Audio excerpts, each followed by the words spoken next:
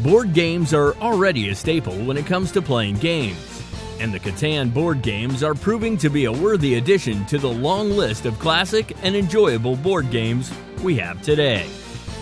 How much are the Catan board games?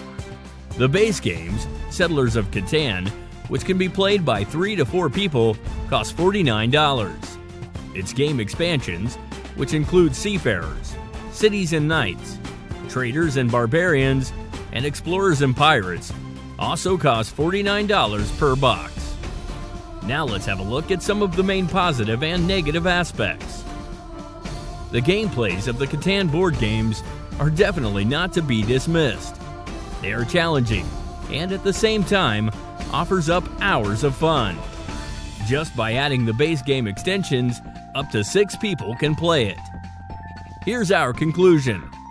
Go on an unforgettable adventure with any of the Catan board games. Thanks for checking out our review. To find out more about this product, click on the link below this video now.